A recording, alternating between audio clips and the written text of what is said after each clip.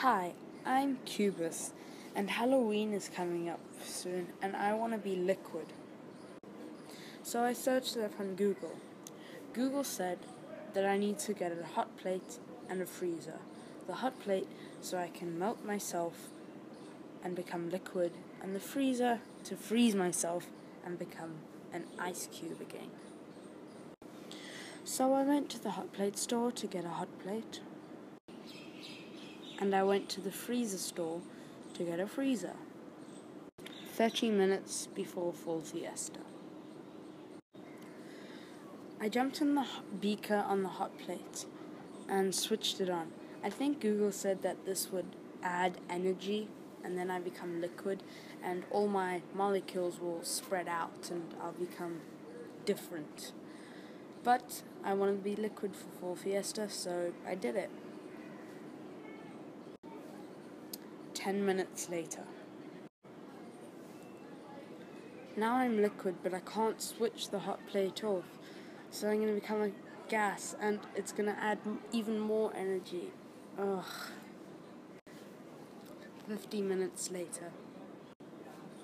Now I'm gas, and I flew out of the hot plate and switched it off so it didn't burn my house down.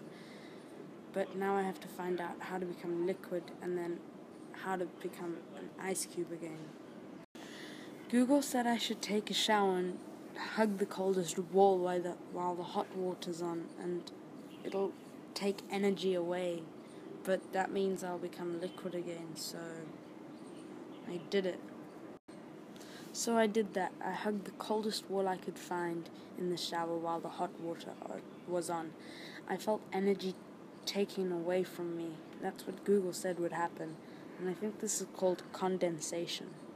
Now I'm a liquid and I feel really, really tired because it took a lot of energy out of me to become a liquid, and all my mo- molecules are spread out and I can feel them moving inside of me.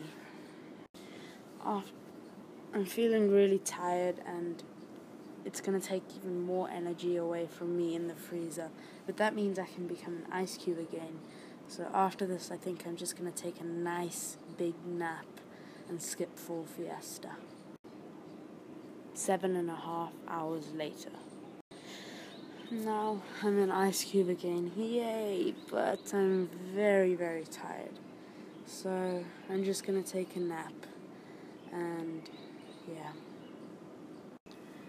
So this was my story on how I, Cubus, wanted to be a liquid for Fall Fiesta, but it didn't quite work out. I became a gas, and then I changed back to a liquid, and then I froze myself to become an ice cube again. But it was a fun journey, and thank you.